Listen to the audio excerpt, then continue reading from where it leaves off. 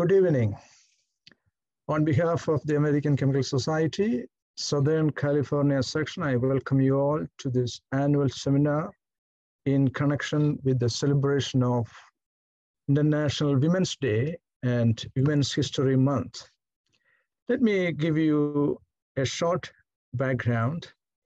The first Women's Day celebration took place in Chicago on May 3rd, 1908, organized by United States Socialist Party, demanding economic and political equality for women. Later, it started being celebrated internationally and acted as a catalyst, a precursor for many important events in history, including the Russian Revolution of 1917.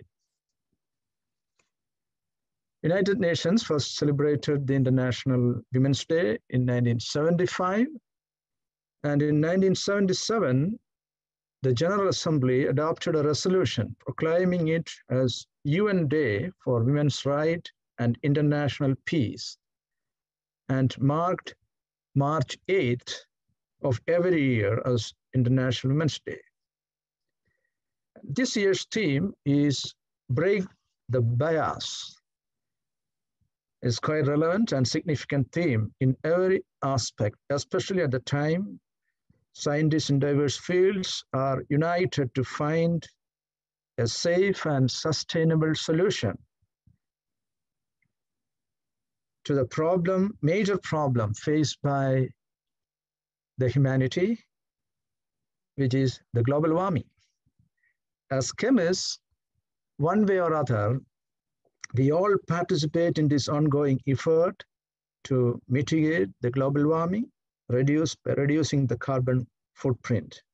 Today, we are honored to have a great chemist and an outstanding scientist who have been actively pursuing that effort. It is none other than our Professor Jenny Y. Yang from University of California, Irvine. I heartily welcome Professor Yang as our speaker to this event. Now, Professor Veronica Jaramillo, Chair of Women's Committee of our section, will formally introduce our speaker. Veronica. Okay, thank you. So it's my honor to introduce Jenny Yang. She was born and raised in the San Fernando Valley, and she attended the University of California, Berkeley, and earned her BS in chemistry.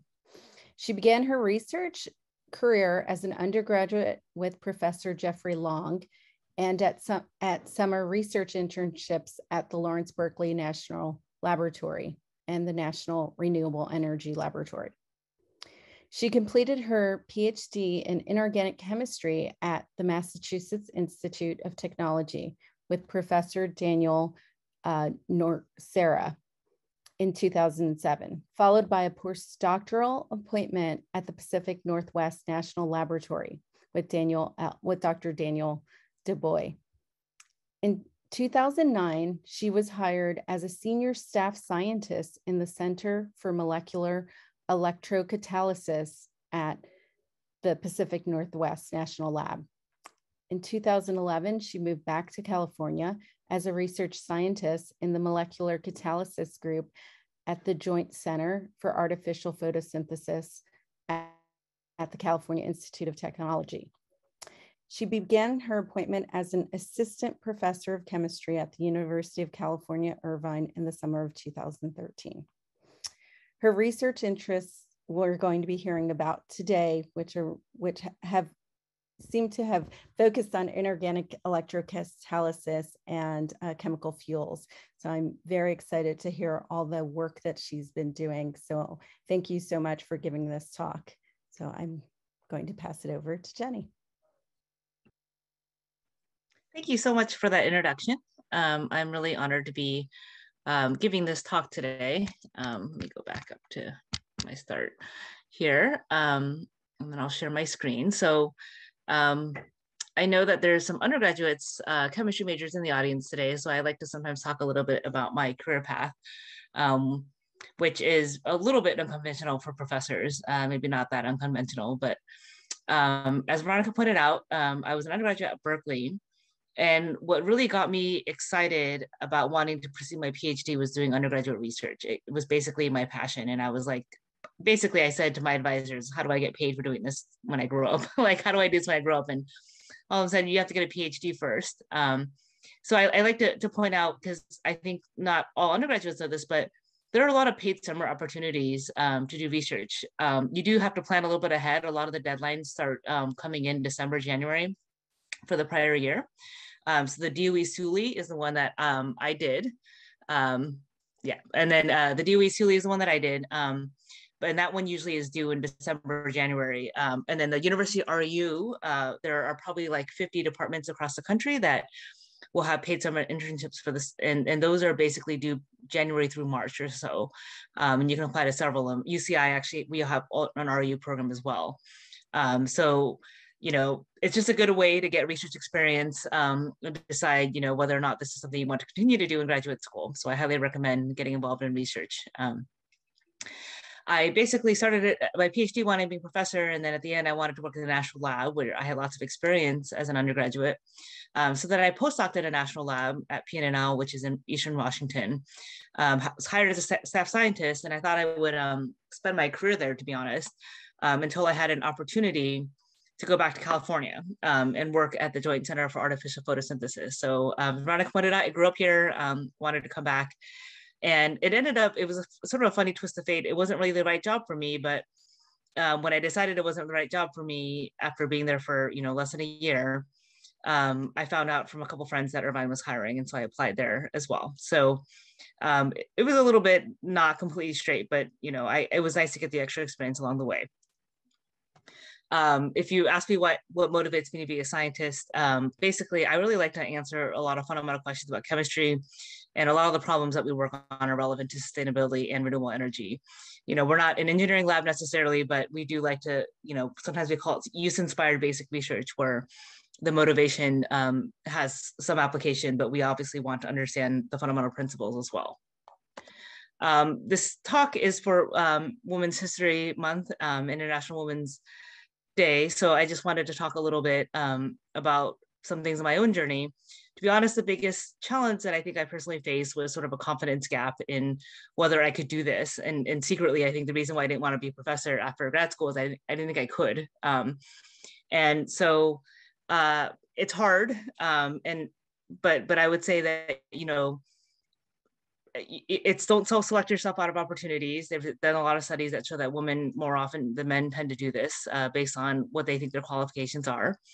Um, I think building a support network and finding mentors is important as well.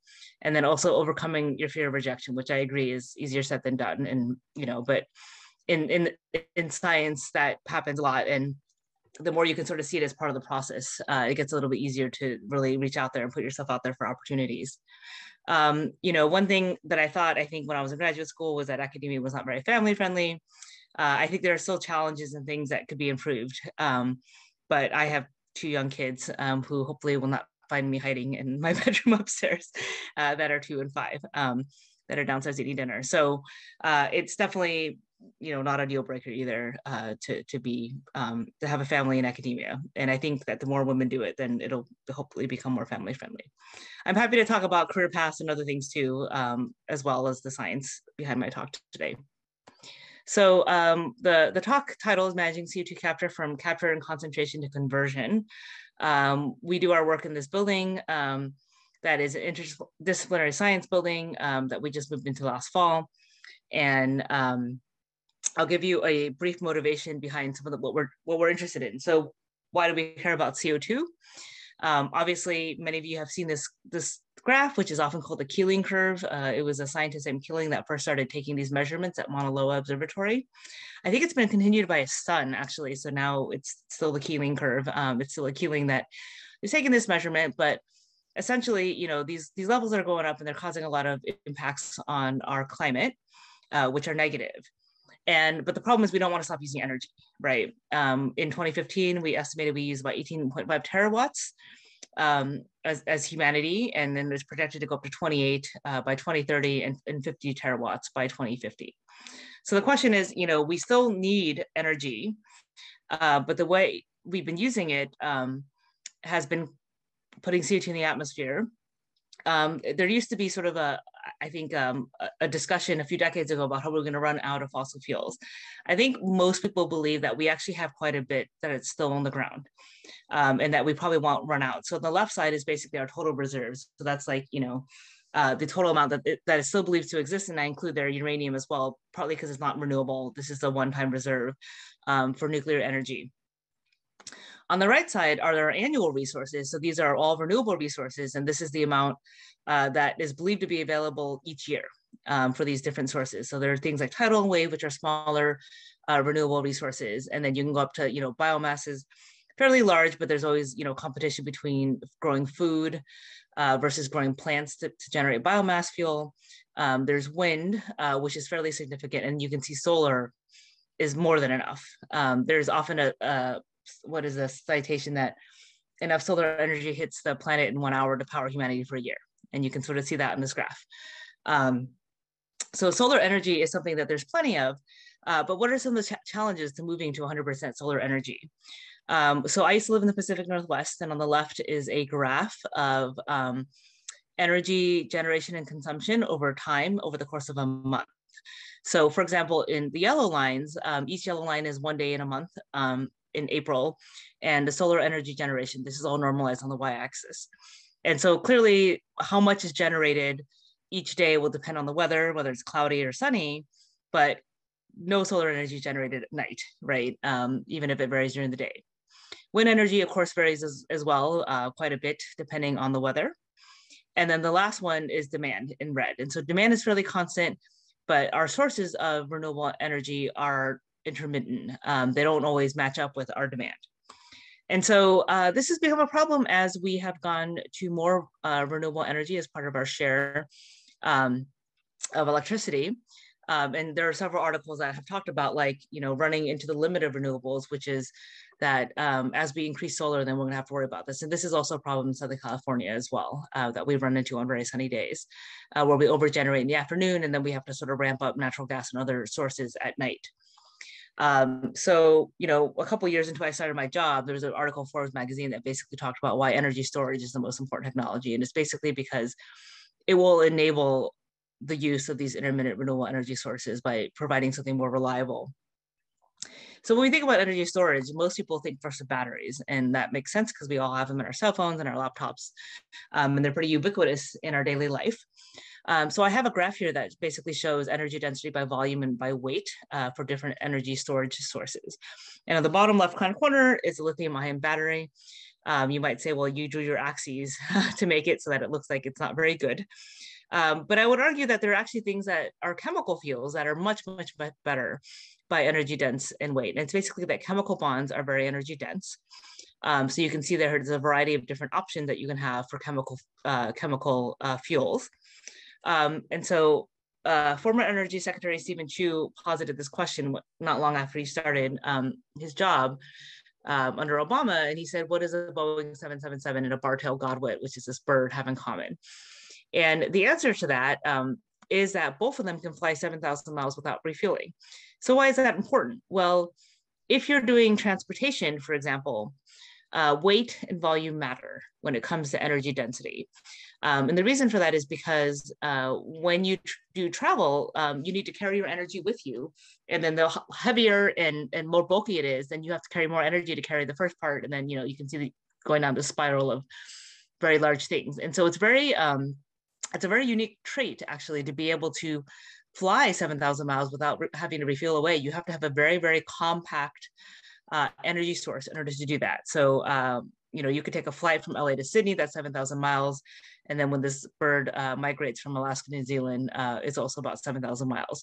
And of course, the energy that they use are in the top right corner of our graph. Um, the bird uses body fat and then the, um, the airplane uses diesel, gasoline, or jet fuel or something like that, um, which is also very energy dense. Um, so the question is, how do we take excess solar energy and turn it into chemical fuels?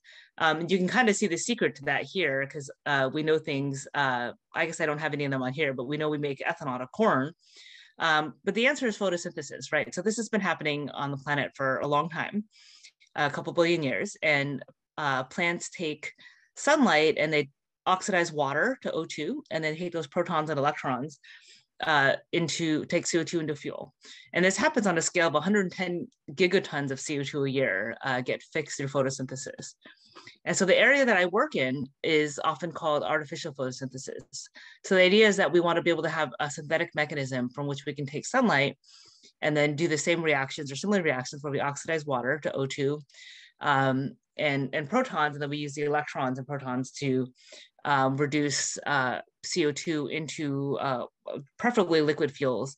Um, and then these are called solar fuels. So of course, when we burn them, we'll again release CO2, but if the CO2 comes from the atmosphere, then we're not digging out of the ground. It's carbon neutral um, in this process. So um, these chemicals require catalysts uh, in order to operate, um, and specifically electrocatalysts. These are catalysts that can take um, renewable electricity and turn them uh, into basically run these reactions uphill. Um, I sometimes like to explain what electrocatalyst is. I actually didn't do any electrochemistry until I went to my postdoc, so this is all new to me. Um, but if you think about redox catalysis, uh, very often you have a resting state C, and then once you oxidize or reduce it, it makes C prime, which is your active catalyst. Um, that C prime can then turn over substrate to product at some catalytic rate. Um, and so this is something that we maybe we do more commonly in the lab, right? When we do synthesis, we'll use zinc as a reductant or uh, permanganate as a, as a stoichiometric oxidant. Um, so when we do electrocatalysis, we basically just replace that chemical oxidant or reductant with an electrode. And then that then becomes our electron sink um, or source, depending on whether we're doing oxidation or reduction. Um, and then we use that to basically go from C to C prime. Um, one metric for an electrocatalyst is called overpotential. Um, so you have to apply some potential to get C to go to C prime, which is typically the redox potential. Um, and then there's going to be some um, thermodynamic standard potential for taking S to P. The difference between those two is called overpotential. A large overpotential means you're wasting a lot of energy. You have to add a lot of excess energy to get S to go to P. Uh, which doesn't um, happen uh, if it's more efficient, right? So a large overpotential basically you're wasting energy to get from S to P. Um, other things is that we can get some information about the rate through the current because as C goes to C prime and then turns over and goes back to C to C prime, um, if we see a large increase in current, that means that catalyst is quite fast. Um, and then the last thing is Faraday efficiency, which is the percent of yield uh, to electron product, right? So it's basically, we know how many electrons we put in when we do this, and depending on the product that we get um, is our percent yield. Okay, so um, we're trying to do artificial photosynthesis. We're trying to make electrocatalysts that can basically run some of these similar reactions. And we know that nature does it really well. Um, so just as an example of that, um, people have taken enzymes that can basically um, do some of the reactions that we're interested in, like taking protons and electrons to hydrogen, um, or taking CO2 to formate, or CO2 to, to CO and, um, and water. And these are all energy forming, um, sorry, energy storage reactions or uphill reactions that will store um, energy in the form of a chemical bond. And so some of the things that are characteristic about these enzymes is they're really, really good at what they do, right? So all of them are reversible, which basically means that they operate at the, at the thermodynamic potential. So they have virtually no overpotential. And you can see that because there's an oxidative and reductive current uh, for all of them um, on either side, right? So you can see uh, that. So I, I so there's sort of lines here, which I guess I can notate here. Uh, that's the thermodynamic potential where they cross. And then you can see there's uh, oxidation and reduction on either side of those. And they're quite fast at what they do. They're really good at it again.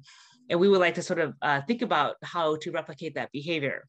So if we think about formate dehydrogenase, which is a, a reversible catalyst, we could say, how can we achieve reversibility? Because by definition, reversibility uh, has to operate at basically a zero over potential. Um, if you've done some electrochemistry before, platinum is sort of a ubiquitous reversible catalyst for protons and H2, for example.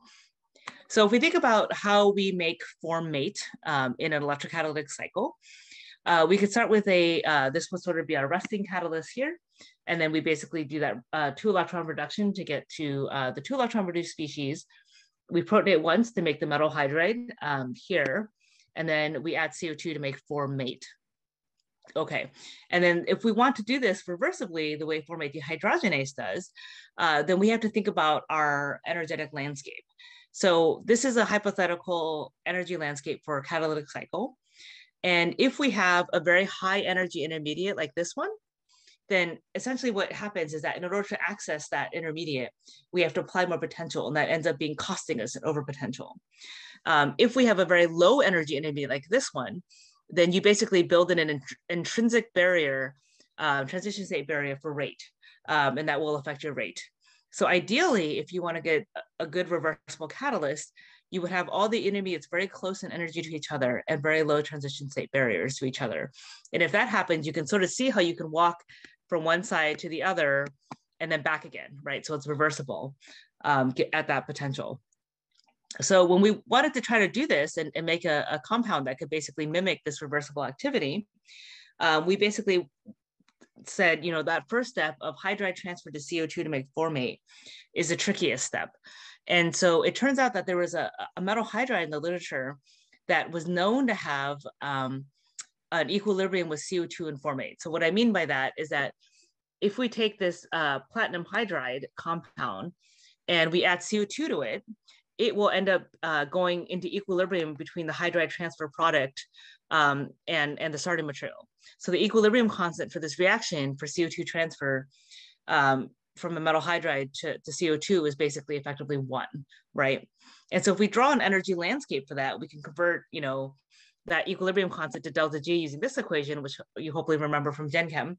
Um, and we find that it's basically downhill by only 0.03 kcals. It's basically thermal neutral as far as we're concerned. I mean, it's really close, right? It's close to zero. And then we say, well, let's flesh out this catalytic cycle. So we have to protonate this platinum zero to make the platinum hydride. We know what the pKa of the hydride is. And so let's get a, a proton source to match that. Um, and so we found this proton source that is basically has a pKa of 29. So there's a little bit of downhill push uh, toward protonation, but it's also in equilibrium with each other. And we actually measure these equilibrium constants. Um, and so when we do that, we find that that platinum zero protonation, the platinum hydride is downhill by minus one kcal per mole as well. And then, so the last thing we need to do um, to complete our catalytic cycle is to do this electron transfer step, right? So basically there's, it's a, it's a very simple proposed catalytic cycle. There's three intermediates, right?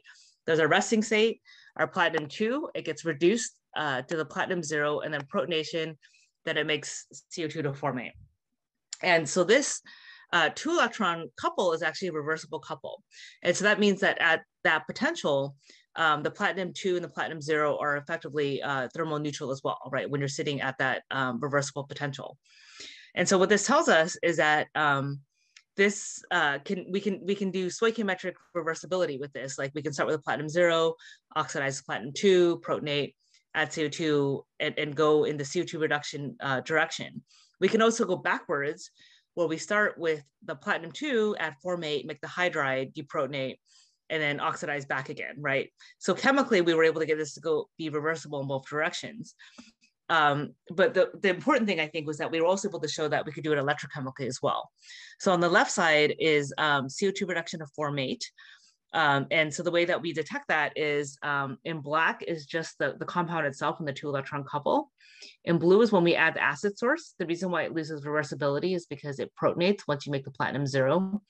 Um, and so the you don't see the, the oxidation peak again.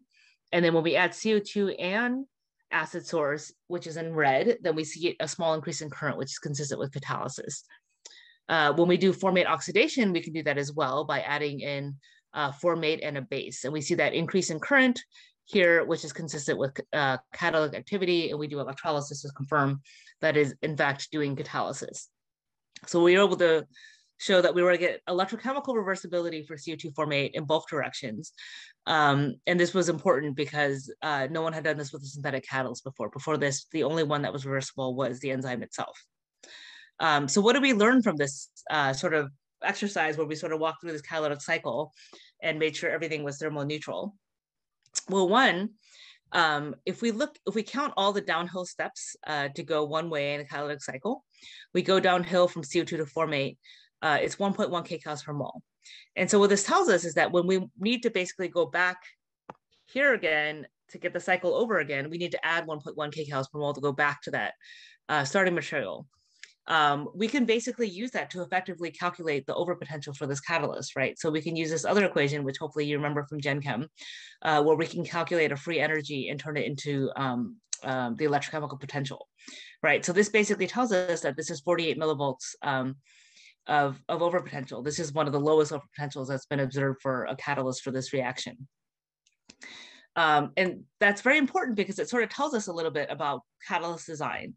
If we had inadvertently used a stronger acid, um, then basically we would be increasing the overpotential by 59 millivolts per pKa unit, uh, which is basically how many kcals be pushing it downhill. If we had used a stronger hydride donor, we'd also be pushing and increasing the overpotential by about 43 um, millivolts per kcal. And so you can sort of see here why this balance of getting everything equal um, um, everything equal, equal uh, th close to thermoneutral is really important in order to achieve that low overpotential um, and that reversibility that's a consequence of that low overpotential. So one thing about this catalyst is that it's really slow um, in, in both directions. Um, when our first initial studies, we found that it was less than about 0.5 per second. Uh, so basically we walked through the different steps and we measured uh, kinetic um, uh, parameters for that. So electron transfer is fast. Um, protonation really, really fast, 10 to the 3 uh, per second. So we get a, a fast uh, observed rate constant. And then the one that's really slow is this rate determining step, uh, which is what we propose as the rate determining step, because we can isolate the hydride, add CO2 to it, and then we very, very slowly watch it add, uh, turn into formate. So this is about 10 to the minus 4 per second. So this is a problem. Uh, it is our, our, our slow step in a reaction. So it does have some very high uh, transition state barrier uh, to get this to add.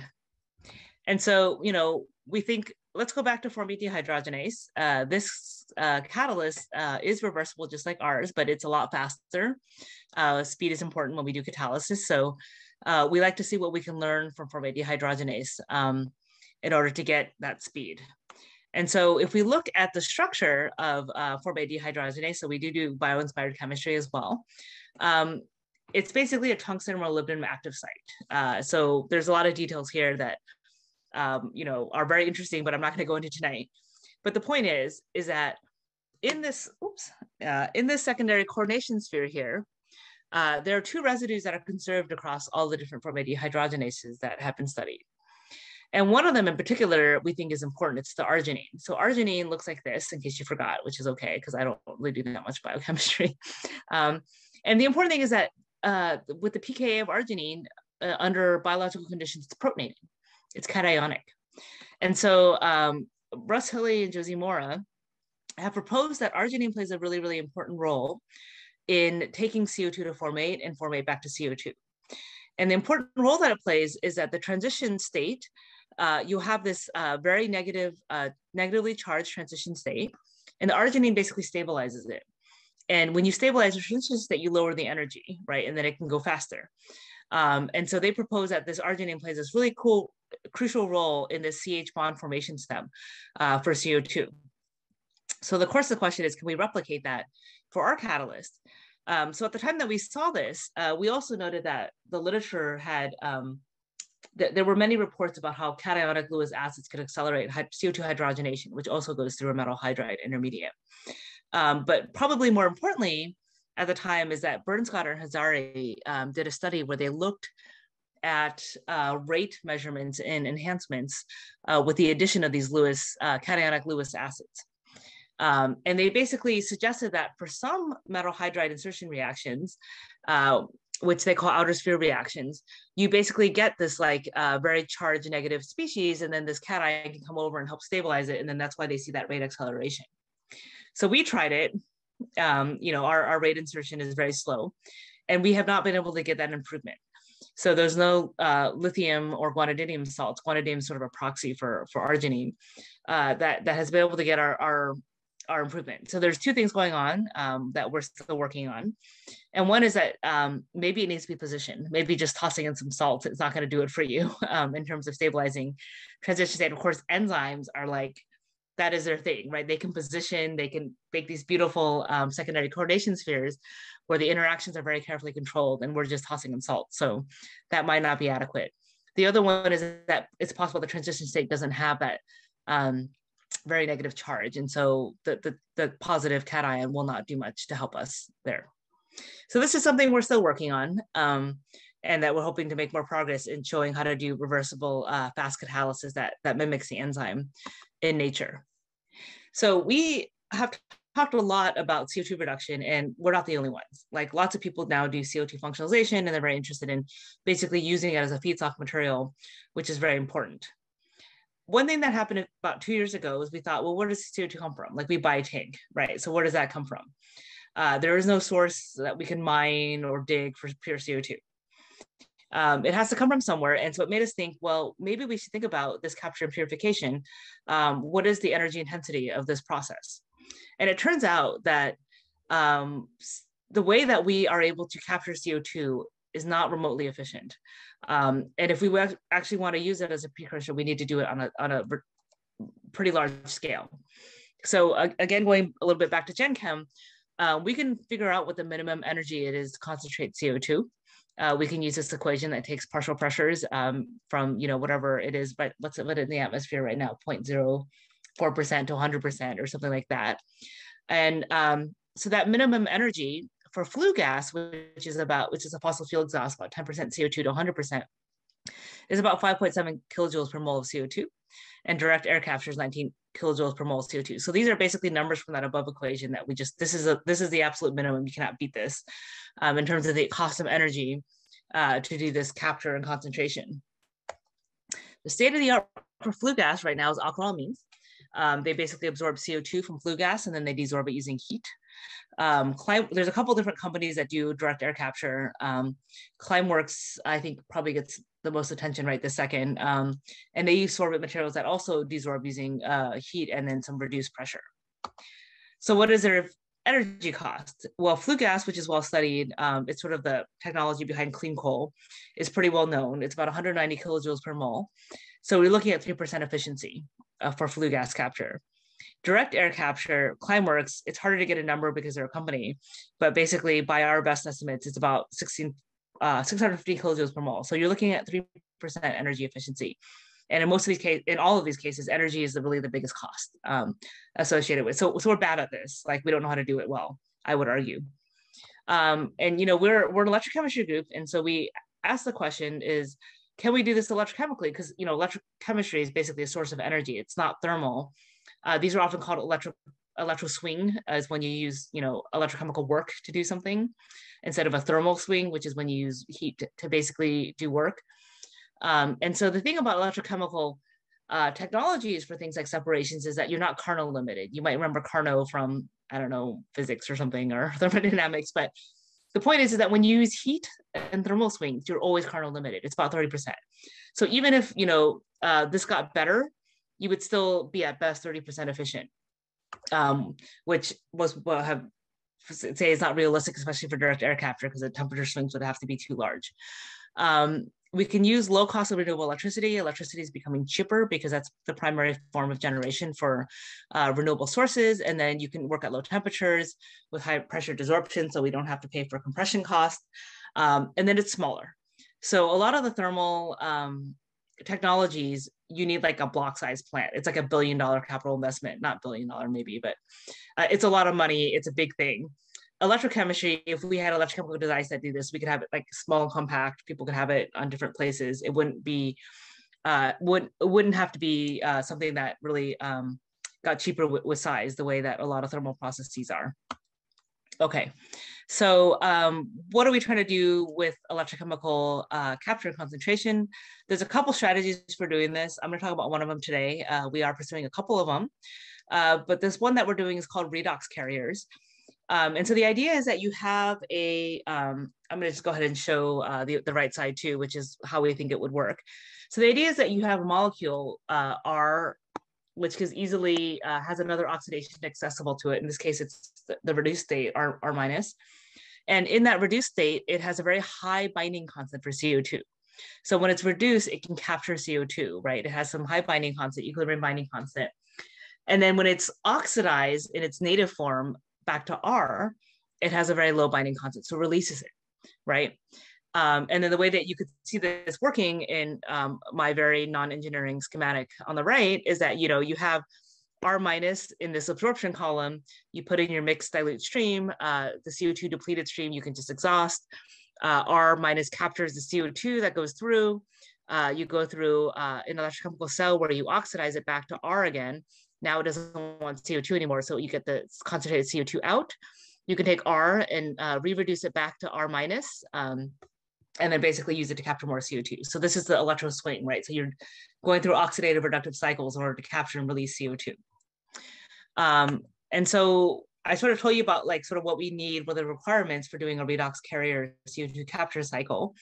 Um, and so you might think, well, that's crazy. What kind of molecule uh, will have this kind of a behavior where it binds and reduces, uh, binds CO2 in one oxidation state very tightly and not at all in the other? Well, that actually has been known for a while, almost two decades. So um, about um, about in 2003, this was reported with a quinone. Uh, so, you know, anytime you have this aromatic group with two uh, ketones on it, it's basically a quinone. Um, and in its native form, the oxidized form, it basically has no affinity for CO2. Uh, so K2, K of CO2 is basically zero. But when you make the dianion, the reduced form, um, then uh, you get uh, very high binding constant. So this particular one has a binding constant uh, 15, k to uh, 10 to the 15, right? Um, I'm looking at log K1. And so basically it's easily no problem taking CO2 from air concentrations, right? So what's the problem? If we've known this for 20 years, why aren't we doing this? Um, and, and, they basically demonstrated that it works too. The problem is, is that this uh, dianion quinone is air, air sensitive, O2 sensitive. That's a problem uh, because everything that we would want to capture CO2 from is going to have oxygen present. And so if our reduced species is air sensitive, um, basically this is what happens is that um, if your reduction potential is too negative, it'll do single electron transfer with O2 to make superoxide, which is a pretty facile electron transfer. Uh, you generate superoxide, um, and that basically is bad because it eats organics. Uh, plus, you quench your, you're basically quenching your um, capture agent when you do that.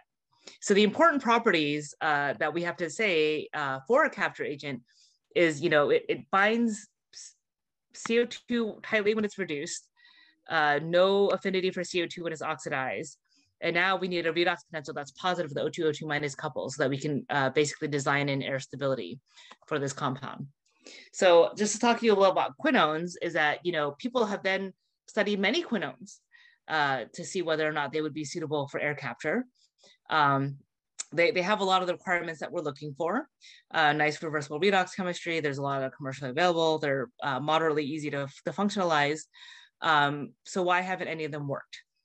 Uh, when we plotted all the quinones that have been studied up um, until we started working on it, um, basically uh, we can plot the log of the KCO2, which is this is the binding constant, log of the binding constant, versus that E1 half metric that's very important for air stability. And we see there's a linear free energy relationship for that. So intuitively, this should make sense as a chemist as you go to more reducing electron rich um, quinones. Uh, they will bind CO2 much better, but of course, then they're more reducing, right? So they, they basically, these two properties scale with each other. Um, if we think about what requirements we need for flue gas capture, we need a binding constant of about 10 to the four. Um, and then if we want uh, capture from atmospheric, we need the log K to be about 10 to the six or 10 to the seven. Um, so those are the, the minimum requirements of binding constant that we need to capture from these different uh, gas streams. But our other requirement is that the redox potential has to be positive of the O2 O2 minus couple. So the reason why it's a little bit of a broad band there is because it changes a little bit in different solvents, but that's basically what it is versus ferrocene in organics. And so this basically defines where we need to be to do air stable flue gas and atmospheric uh, CO2 capture. Uh, obviously, no points exist there when we started, which is what the problem was with electrochemical capture. And so the question is, how do we basically move into these regions, right? We want to go that way. We want to be able to uh, maintain binding constant or increase binding constant while moving to a, a milder potential. Um, so my student who worked on this first um, sort of looked at these tetra uh, uh, which are circled here. So these are three different solvents that they're, they're measuring qualities. And he was like, wow, this is really close. Like if I just can like push this a little bit, we're, we're in the right, we're in the right region, right? So um, the first thing he did was he said, well, can, can we use another non-inductive method of modifying the redox potential? Um, and so he basically found an old paper that talked about how if you add alcohols to quinones, you can basically get fairly large shifts in reduction potential. So you can see here um, that when we add alcohols, it doesn't really affect the first reduction uh, peak, the TCQ to the semiquinone, but you can get these very large shifts uh, for the to, to make the dianion species. And he was also able to see this interaction uh, by UV spectroscopy. So basically by adding the dianion with different alcohols, you see a shift, which is consistent with hydrogen bonding, but no protonation to make H2. So it's a true hydrogen bonding interaction, not an acid-base interaction. So then the next question was, you know, we can make hydrogen bonds to these uh, oxygens in the dianion, but now can it still bind CO2? So Jeff studied that as well. And he also saw that the hydrogen bond interaction uh, impacted CO2 binding. Um, and so I won't get into interpretation of all of this data, uh, but I also say that in his um, electronic absorption spectra, he's also able to see those hydrogen bonding interactions for uh, what we propose is this carb, uh, carbonate species, which is CO2 bound to the to the oxygen O minus on the on the dianion. Um, but basically, when he did further analysis, um, and I'm not going to get too much in the details, but I'll just sort of give you the summary of it, is that um, the interaction of the alcohols with the O minus on the dianion increases with alcohol pKa. So that's maybe not too surprising. So the more acidic the alcohol is, you get a stronger hydrogen bond to the O minus. And that basically means that we get a larger shift uh, in redox potential. The problem that he noted was that when he then tried to measure CO2 binding, if that hydrogen bonding interaction is too strong, it will inhibit CO2 binding, right? So basically, you're blocking the CO2 binding by making hydrogen bond to your dianion. Um, so he basically found, and then and then if it's too weak, you don't really get the the redox potential shift effect that we're looking for. So the, the point is, it's Goldilocks, right? So like you need an interaction that's just right. If it's too strong, you inhibit CO2 binding. If it's too weak, you don't shift the redox potential enough. And so basically he found that this correlates with pKa. And you can see here that, you know, there's sort of a magic region um, that he identified where the hydrogen bonding interaction was just right. Um, you know, not too, not too strong or not too weak. And it's basically around a pK of 16. So he did most of his studies uh, from there on on using ethanol, which is a very common um, you know, solvent. It's a cheap solvent. And he basically found that, you know, if you add ethanol to these tetrachloroquinone solutions in DMF, then you increase both parameters uh, for CO2 capture. You get a nice redox potential shift positive. It will shift you, um, you know, into a safe place for O2. Um, and then it also actually increases binding by a small amount due to stabilization for the hydrogen bond, uh, which is pretty remarkable. So, you know, we're able to basically scoot this point over to here where now we're, we're basically in a region where we can actually capture flue gas um, in the presence of air. So the answer, the question is, does it work? Of course, we can, you know, do all these subrees and numbers and everything like that. Um, so Jeff set up a, a, test bench to evaluate this carrier uh, under simulated flue gas conditions. You know, uh, basically we have an electrolysis cell, we have a gas mixer to um, put in the CO2, um, lean CO2 mixture, and then basically we have a CO2 analyzer at the end of it.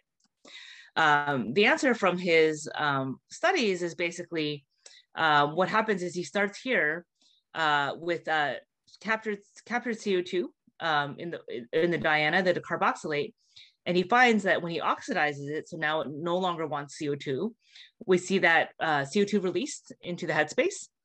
Um, and then when he oxidizes again, he recaptures that CO2. So basically, he's able to cycle this through oxidation reduction oxidation cycle uh, in the presence of air. Um, this is basically a simulated flue, flue gas mixture uh, in the presence of air, um, and basically uh, retain um, retain his species, right? So um, we believe this is the first example of O2 tolerant CO2 capture from flue gas, um, and that we were able to get the O2 stability not by changing the quinone, which people had tried to do before and ended up on that scaling relationship, uh, but by basically adding something external to that, a secondary interaction, the hydrogen bond donor, um, to change the properties in the right direction. Um, based on the metrics that we've seen, uh, the energy efficiency of this process is about twice as good as state-of-the-art uh, alkylamine thermal flue gas capture, and it's about twice as good as the best reported electrochemical uh, CO2 capture, which has not been air stable up to this point. So that was pretty exciting. and then of course we're very excited about it because it is basically um, functions with two commercially available compounds, right? So ethanol is cheap and available, and this uh, tetrachloroquinone is is quite available as well. So we were quite excited about that. Um, we still need to optimize it and, and, things like that, and do longer stability studies. But we find that um, this result was was quite significant in, in moving this area forward. So um, basically, you know, my dream, I guess, this is my ideal slide, is that uh, sometimes it's called the circular carbon economy. But basically, the idea is that, you know, one, we're able to capture um, purify CO2 um, relatively efficiently, either from um, industrial sources, power generation, which is the flue gas now, which is currently just being exhausted in the air, or potentially air capture, which will actually be carbon negative. And then we can take that CO2 and sequester it. So it's fun. You might think it's funny that I have an oil pump there for sequestration, but I'm not an expert in the area, but I've, I've seen sort of convincing information that potentially you could use it, old oil wells as a way to store CO2. Um, I think they still are testing that as safety and other issues. Um, and then of course we can use it as a feedstock, uh, either for fuels, um, these carbon neutral solar fuels, which we can then recapture the CO2 or as a feedstock. So one of the things that, you know, I don't, I don't think we're gonna be off fossil fuels immediately, but most of our carbon precursors in all of our materials and chemicals come from fossil fuels at one point or another. And it would be nice if we can transition into using carbon more as a precursor as well as we uh, stop using uh, fossil fuels. Um, this is a, a, slightly outdated picture, but has a lot of people that are in my talk in it. Um, so uh, the first work I talked to you about, the reversible catalysis, um, Drew Cunningham did most of that. Uh, Reina Velasquez was an undergraduate in my group who also contributed to that. Uh, Bianca did a lot of our early work on um, hydricity and, and, metal hydrides. Uh, Jeff uh, actually also contributed to that, but he did uh, the bulk of the CO2 capture work um, that I talked about. And the CO2 reduction work that we uh, do is currently funded by the Department of Energy, and the CO2 capture is by a grant from the from the Sloan Foundation. Um, since there are undergraduates and, and hopefully educators in the crowd, one of my former students started a company for educational chemistry games. I'm an inorganic chemist. It's called The Orbital Games. Um, they have a lot of fun things. And so uh, if this is something of interest to you and, and your students, then, then I would definitely check that out as well. I'm happy to answer questions if uh, people are have any questions. Hopefully they didn't go through that too quickly. Uh, hello, Dr. Yang. Huh? Um, my name is Brian. I'm uh, I'm a high school chemistry teacher, and okay. I had the I had the great fortune of having your inorganic two lecture in uh, spring of 2015. Okay. um, and uh, I have two questions. So may huh? I ask them both before you answer? Yeah. Okay, I have a couple of uh, highly capable uh, students in here today. They're in my high school chemistry class. And uh, I wanted to know if you had any advice for them in the pursuit of science and possibly even chemistry and what they could do. And then uh, my second question is personal interest in, uh, I remember you talking about the, the arginine substitute and huh? positioning that to assist -huh. the, the uh, that active site. And I'm, I'm kind of interested in, in how that positioning is done. Okay. Uh, so those are both really good questions. Um, I will answer the first one first about, uh, let's see if I can get there just so I have it up on the screen. Um, so the first question for high school students, gosh, you know, it's funny, like, um, well, one, uh, there are universities that will take high school students for research, but I find that there are fewer. Um, in, in, in, my lab, because we work with a lot of pyrophorics, I, I tend not to for safety reasons. Um, but there are some at UCI that do take high school students uh, for summer research. But I would say just just follow your passion with it. I mean, I I majored in chemistry because of the three site. My, my parents wanted me to major in a STEM field, and of the three sciences I took in high school, I liked it the best. Um, and then, and then, like I said, I was sort of ambivalent about it. I was like, well, maybe I'll, I don't know what I'm going to do with my degree. Um, but then I got into research and I'm like, this is so cool. This is what I want to do. So I, I think if you, follow your passion with that. Um, you know, look for those opportunities. I think one thing too also is that there are a lot of chemistry adjacent uh, engineering degrees as well. And so I didn't, you know, we don't take engineering in high school, at least I didn't. And so I didn't know anything about it. But when I took my first material science class, which was not until I was a junior as an elective, I was like, well, this is pretty cool too. But like, I just never thought of that as a major either. So definitely explore, you know, the chemical engineering and the material science. Those are all sort of like chemistry adjacent, um, even biomedical engineering, things like that, um, as majors as well. So I, I, guess that's my best advice for that. Um, since I don't, I don't work with high school students normally. Um, and then for this one, um, so the, the enzyme, you know, can can uh, position that arginine through this protein scaffold. Um, how would we do it? Um, we we've talked about this a lot in my lab. So my group, you know, we we are a synthetic chemistry group, but you know, my students don't like to do too much ligand synthesis or run too many columns or anything like that.